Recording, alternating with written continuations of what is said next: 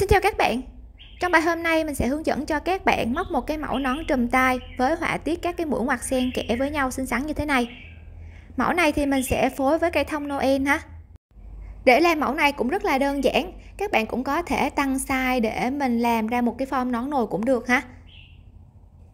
Đối với mẫu này thì mình sẽ làm cho bé nhỏ nên mình sẽ móc cái form bình thường thôi, che tay.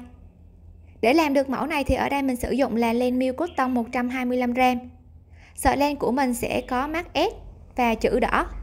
Độ dày của sợi len tầm khoảng 1.75 cho đến 2 mm kim móc ở đây thì mình sử dụng kim 3.5 mm hoặc là các bạn sử dụng len khác thì có thể sử dụng đầu kim to hơn sợi len 1 phần 2 ha. Đầu tiên tạo cho mình một vòng tròn. Móc và kéo len qua vòng tròn. Giữ nguyên vị trí này móc lên 3 mũi móc xích. 1 2 và 3 sau đó móc vào vòng tròn ta vừa tạo là 13 mũi kép đơn ha mũi kép đơn đầu tiên nè. Tiếp tục mũi kép đơn thứ hai. Mũi kép đơn thứ ba. Mũi kép đơn thứ tư. Mũi kép đơn thứ năm. Kép đơn thứ sáu. Kép đơn thứ bảy. Mũi kép đơn thứ 8 mũi kép đơn thứ 9 kép đơn thứ 10 mũi kép đơn thứ 11 kép đơn thứ 12 và mũi kép đơn thứ 13 sau khi đã có được 13 mũi kép đơn vào vòng tròn đầu tiên rồi, ta đâm kim vào chân của mũi kép đơn đầu tiên.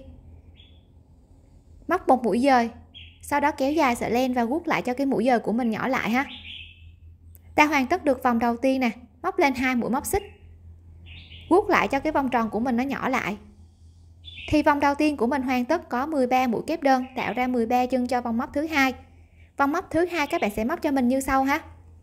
Chân đầu tiên là chân mình vừa móc mũi dời kết thúc cái vòng phía dưới á. Các bạn sẽ móc vào đó cho mình một mũi kép đơn. Vào chân móc nha. Móc vào đây một mũi kép đơn trước nè được mũi kép đơn vào chân móc rồi thì tiếp tục các bạn móc cho mình một mũi ngoặt vào cái thân của cái mũi đó luôn. Tức là cái thân này nè, mình sẽ đâm kim, lấy len và đâm kim vào chính giữa cái ba mũi xích với cái mũi kép đơn đầu tiên á, là vào chính giữa của hai mũi đó. Sau đó đẩy kim lên phía trên, vào chính giữa của hai mũi kế bên. Tức là mình sẽ đưa cái thân của cái mũi kép đơn đầu tiên lên trên kim. Sau đó móc vào đây một mũi kép đơn, ta sẽ được một mũi ngoặt ha để dễ dàng phân biệt cho các hàng móc kế tiếp thì các bạn sẽ gọi cho mình đây là một cụm của hàng thứ hai ha. Sau đó tiếp tục chân kế bên cũng vậy nè, chân móc thì mình sẽ móc một mũi kép đơn. Sau đó cái thân của cái mũi đó mình cũng tiếp tục móc thêm một mũi ngoặt nữa. Ta sẽ đẩy cái thân chân móc này lên trên kim nè.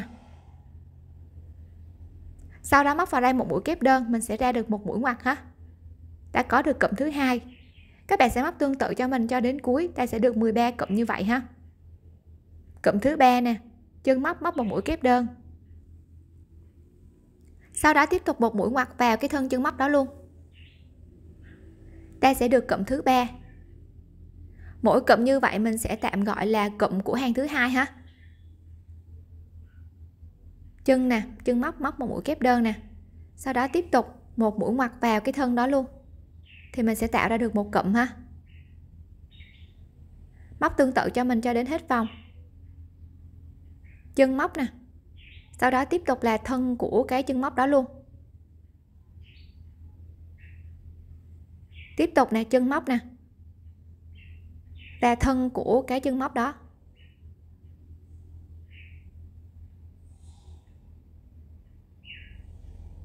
Sau khi móc đến cuối hàng thì mình sẽ có tổng cộng là 13 cụm như thế này ha. Cụm cuối cùng nè. Một mũi ngoặt vào cái chân của mũi kép đơn cuối cùng ở bên trên ta được 13 cái cụm như thế này rồi thì kết thúc đâm kim vào chân của mũi kép đơn đầu tiên ở vòng móc này. Đây là chân của mũi kép đơn ha, mũi là cái mũi mà mình đâm kim vào chân móc á. Móc vào đó một mũi dời. Nhớ là kéo dài sợi len sau đó guốc lại cho mũi dời của mình nhỏ lại ha. Móc lên hai mũi móc xích. Tiếp tục vòng móc thứ ba, mình sẽ tiến hành tăng mũi tiếp ha. Thì vòng móc thứ ba các bạn sẽ móc cho mình cụm của hàng móc thứ ba nè cụm của hàng móc thứ ba mình sẽ móc như sau. Chân đầu tiên, móc hai mũi kép đơn vào chân đầu tiên. Là chân mình vừa móc mũi giờ kết thúc vòng phía dưới ha. Móc hai mũi kép đơn vào chân đầu tiên.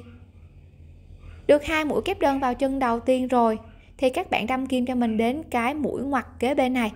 Ta không móc vào chân móc mà mình đưa cái thân của mũi ngoặt này lên trên kim.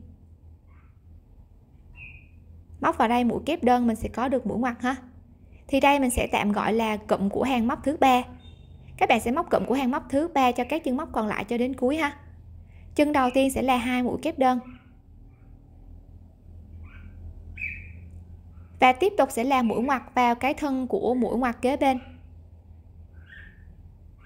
Không móc vào chân móc mà mình móc vào cái thân của mũi đó ha. Ta sẽ được cái cụm thứ hai nè. Các bạn sẽ móc tương tự cho mình cho đến hết vòng chân móc thì mình móc hai mũi kép đơn. Sau đó mình móc thêm một mũi ngoặt vào cái thân của mũi ngoặt kế bên. Ta sẽ có được cụm móc thứ ba ha. Mình sẽ tạm gọi đây là cụm của hàng móc thứ ba.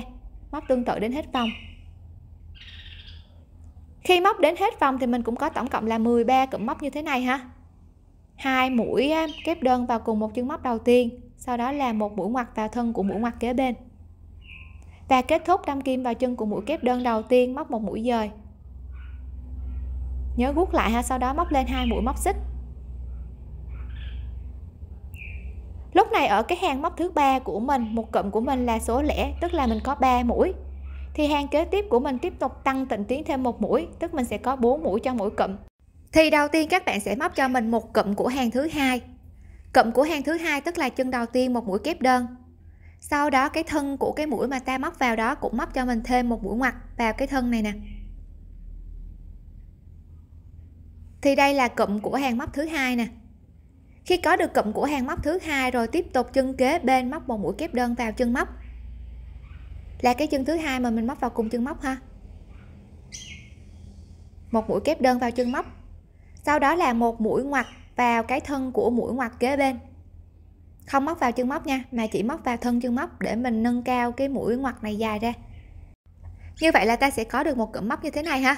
Cụm của hàng thứ hai, sau đó là một kép vào chân móc và một ngoặt vào thân mũi ngoặt. Các bạn sẽ móc tương tự cho mình cụm này cho các chân móc còn lại cho đến cuối ha. Mình sẽ có một cụm của hàng móc thứ hai nè, tức là chân đó mình móc vào một mũi kép đơn, sau đó móc tiếp vào cái thân của cái chân đó luôn, một mũi ngoặt được cụm của hàng móc thứ hai rồi, tiếp tục móc một mũi kép vào chân móc, vào chân móc kế bên. Và một mũi ngoặt vào thân của mũi ngoặt kế bên. Như vậy là ta sẽ có được cái cụm móc thứ hai ha, móc tương tự cho mình cho đến hết.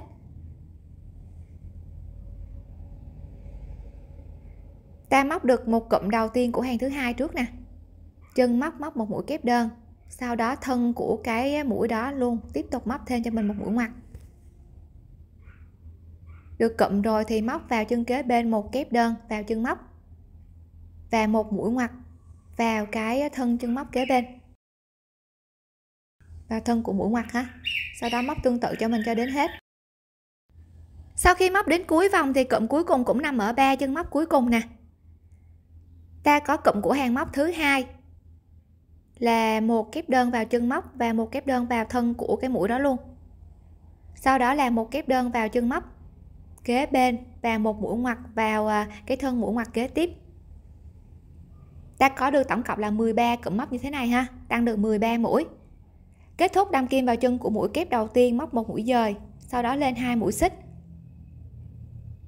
Như vậy là vòng tròn của mình nó sẽ có cái độ rộng ra và xen kẽ là à, một mũi ngoặt và một mũi kép đơn ha hàng móc kế tiếp mình sẽ tăng tịnh tiến cái số mũi móc lên một mũi nữa, tức mình sẽ có 5 mũi nè.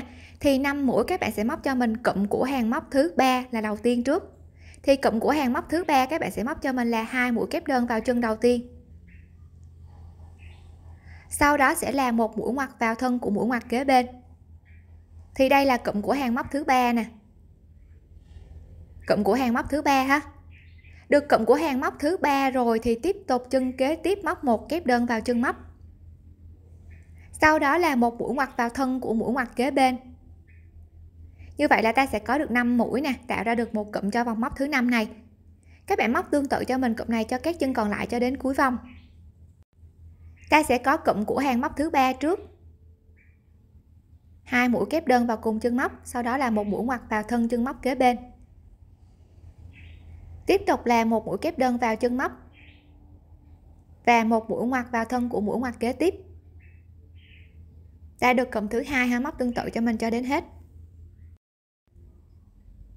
Khi móc đến cuối vòng thì bốn chân móc cuối cùng cũng tạo ra được một cụm cho hàng thứ năm này ha. Ta có cụm của hàng móc thứ ba nè. Sau đó tiếp tục là một kép đơn vào chân móc và một mũi ngoặt vào thân của mũi ngoặt. Hoàn tất được cụm thứ 13 rồi nè mình sẽ có cụm của hàng móc thứ ba. Sau đó là một kép đơn và một mũi ngoặt. Đây. Kết thúc nè, đâm kim vào chân kép đơn đầu tiên, móc một mũi dời sau đó móc lên hai mũi móc xích. Hàng móc kế tiếp thì sẽ xen kẽ à, cứ tăng tịnh tiến cho mình cái số mũi móc lên một mũi và cứ xen kẽ một cụm của hàng thứ hai. Sau đó là một cụm của hàng thứ ba cho các hàng kế tiếp và ở phía sau nó sẽ tăng dần cái số mũi kép đơn và số mũi ngoặt lên dần dần ha. Ví dụ như hàng tiếp theo của mình nè 6 mũi, thì mình sẽ có là cụm của hàng thứ hai.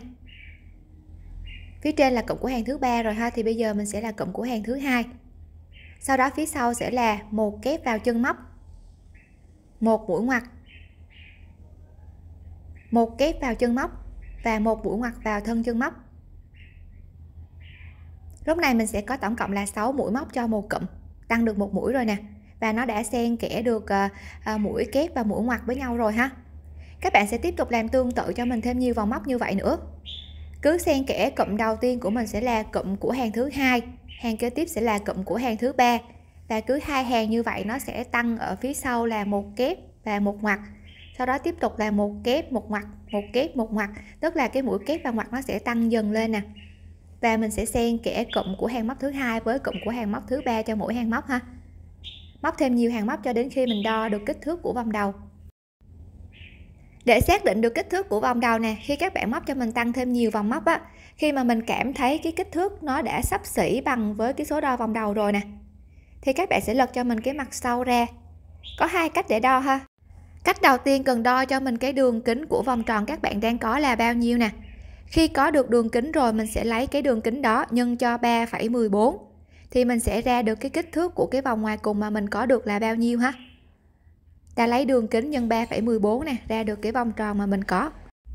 Hoặc là cách thứ hai đơn giản hơn các bạn sẽ chọn cho mình cái chân móc mà mình bắt đầu móc của mỗi vòng móc nè. Sau đó mình sẽ đo cái vòng ngoài cùng ha. Nếu những bạn nào mà có thước dây á mình sẽ đo ở mặt trong luôn nè. Từ cái điểm đầu tiên các bạn sẽ đo cho mình một vòng. Lưu ý nè, cái mũi móc của mình á, khi mà mình móc bằng chất len đó nó sẽ có hơi có độ co giãn. Các bạn cứ đo bình thường cho mình chứ đừng có kéo giãn quá ha. Mình sẽ đo cho đến hết vòng nè. Ta sẽ ra được cái kích thước vòng ngoài cùng của mình có được là bao nhiêu. Khi đã có cái kích thước này rồi, các bạn sẽ so với cái vòng đầu mà các bạn cần móc nè. Thì số đo vòng đầu mình có để ở phần mô tả ha đối với những bạn nào mà móc theo form nón nồi á, thì các bạn sẽ tăng cho mình thêm nhiều vòng móc. Khi mình đo á, cái kích thước mà mình có được nó phải to hơn so với số đo vòng đầu. Còn đối với những bạn nào mà móc như bình thường á, thì các bạn sẽ móc mỗi vòng móc cứ tăng cho mình 13 mũi như vậy. Sau đó mình sẽ so với cái kích thước của vòng đầu nè. Thì cái vòng ngoài cùng mà mình có được của cái phần thân nón á, nó sẽ sắp xỉ cộng 2 cho đến 4 cm ví dụ như ở đây của mình là 40 cm thì nó có thể áp dụng cho số đo vòng đầu khoảng tầm à, 40 cho đến 44 cm ha. Và cũng tùy tay thở móc lỏng hay chật, sử dụng chất len và kim khác nhau, các bạn có thể canh chỉnh size cho phù hợp. Sau khi đã hoàn tất cho mình được kích thước của cái phần thân nón rồi á, bây giờ mình sẽ móc cái phần thân phía dưới. Thì cái hàng móc cuối cùng của mình nè, một cụm nó sẽ có 6 mũi thì đơn giản thôi ha các bạn cứ móc lên cho mình hai mũi xích, sau đó mình sẽ móc xen kẽ một mũi ngoặt dưới và một mũi ngoặt trên. Thì cái chân đầu tiên nè, thay vì mình móc vào chân móc, khác với cái mũi ngoặt ở phía trên là cái mũi ngoặt mà mình móc như các cái hàng bên trên nè. Thì ta không có đẩy cái thân chân móc lên kim mà các bạn đưa kim xuống dưới, sau đó mình đẩy cái thân chân móc đó xuống dưới kim.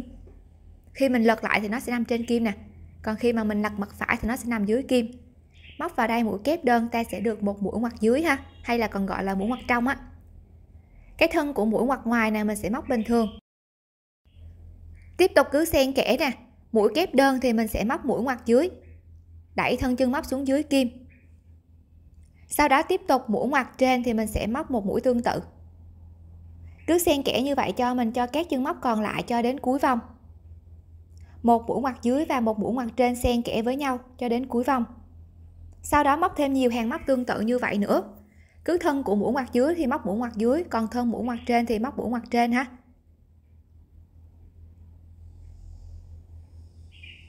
Thân của mũi ngoặt trên nè thì móc một mũi ngoặt trên. Thân của mũi kế tiếp thì móc mũi ngoặt dưới. Lúc này mình sẽ kéo dài được cái mũi ngoặt trên ra này nó dài hơn rồi ha.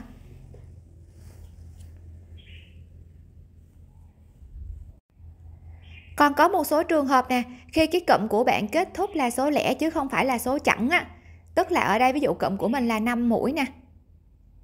Thì các bạn có thể móc cho mình xen kẽ nè, mình sẽ kế tiếp với cái cụm kế bên luôn. Cụm kế bên của mình nè, cái điểm kết thúc nó là mũi ngoặt trên. Thì bây giờ các bạn sẽ móc mũi ngoặt dưới vào cái thân của mũi kế tiếp, một mũi ngoặt dưới. Sau đó tiếp tục làm một mũi ngoặt trên cho thân kế bên và lúc này á, cái mũi á, ngoặt trên nè cái mũi ngoặt trên này mình sẽ cho nó xuống dưới lại. Mũi kế tiếp là một mũi ngoặt trên. Và cái mũi ngoặt trên đó mình sẽ cho nó xuống dưới. Thì lúc này nó cũng đơn giản thôi ha. Cứ xen kẽ một mũi ngoặt trên và một mũi ngoặt dưới. Thì nó sẽ có một cụm mình móc đúng và một cụm mình móc đảo cái mũi ngoặt xuống dưới ha. Cứ xen kẽ như vậy cho mình cho đến hết hàng đây, một cụm mình đã đảo rồi thì cụm này nó sẽ giữ nguyên nè. 13 cái cụm đó thì xen kẽ cụm đảo và cụm nguyên, cụm đảo và cụm nguyên xen kẽ với nhau ha. Nó sẽ không có ảnh hưởng gì mấy cho phần thân nón ta cứ móc như vậy cho đến cuối vòng, sau đó kết thúc vòng và các vòng móc kế tiếp thì sẽ làm tương tự. Cứ thân của mũi ngoặt dưới thì mình móc mũi ngoặt dưới, còn thân của mũi ngoặt trên thì mình sẽ móc mũi ngoặt trên. Móc thêm nhiều hàng móc cho đến khi mình gặp đôi cái phần thân nón lại ta sẽ có được cái chiều cao từ đỉnh nón cho đến cái hàng mà mình móc cuối cùng. Nó có thể che được cái phần tay ha. Đối với những bạn nào mà móc form nón bình thường hoặc là nón nồi cũng vậy, cứ móc cho mình sao cho đủ chiều cao từ đỉnh nón cho đến qua tay mình cũng có để số đo ở phần mô tả ha. Sau khi đã móc thêm nhiều hàng móc thì lúc này cái phần thân nón của mình nó đã có đủ chiều cao từ đỉnh đầu cho đến qua tay rồi ha bây giờ mình sẽ tiến hành à, giảm mũi cho cái phần thân nón của mình nó bo lại bằng với cái vòng đầu các bạn cần có nè. Thì để giảm mũi đối với form nón nồi cũng như là form nón như bình thường này nè, các bạn đều giảm cho mình tương tự như nhau, nhưng số mũi móc giảm nó sẽ khác nhau thôi ha. Mình sẽ giảm bằng một hàng mũi móc đơn phía dưới. Cứ mỗi chân móc mình sẽ móc một mũi móc đơn. Nhưng khi các bạn muốn giảm mũi thì cái mũi móc đơn các bạn sẽ chụm cho mình hai chân liên tiếp lại thành một mũi để chụm chân này thì các bạn sẽ đâm kim vào chân móc kế bên, sau đó kéo len qua chân móc. Tiếp tục đâm kim vào chân kế tiếp. Kéo len qua chân móc, sau đó kéo len qua ba đường móc trên kim. Như vậy là hai chân phía dưới mình chụm lại được thành một mũi bên trên ha. Tùy vào form nón các bạn móc mà các bạn sẽ giảm cho mình cái số mũi phù hợp. Và các cái mũi giảm đó các bạn sẽ phân bổ đều cho mình ở cái vòng cuối cùng mũi đơn này ha form nón nồi thì mình sẽ móc nhiều mũi chậm hơn là form nón bình thường nè. Kết thúc hàng, đâm kim vào chân mũi đơn đầu tiên, móc một mũi dời. Sau đó lên một xích, kéo và cắt len. Giấu sợi len thừa vào trong mũi móc. Ta sẽ hoàn tất được một form nón như thế này ha. Sau khi đã hoàn tất được form nón như thế này rồi, các bạn có thể sử dụng cho mình dụng cụ làm cục bông hoặc là sử dụng bìa carton mình sẽ tạo một cục bông đính trên cái đỉnh nón ha và mẫu này mình có trang trí thêm một cây thông Noel ở phía trước nè. Hoặc là các bạn cũng có thể trang trí những họa tiết khác lên trên thân nón, cho phần thân nón của mình thêm xinh xắn hơn. Mẫu này thì mình có thể tăng giảm size phù hợp cho cả người lớn lẫn trẻ nhỏ, hoặc là mình có thể tăng thêm size để làm form nón nồi cũng được ha. Khi thực hiện có điểm nào không hiểu thì để lại bình luận bên dưới để mình giải đáp thắc mắc nha. Chúc các bạn móc thành công!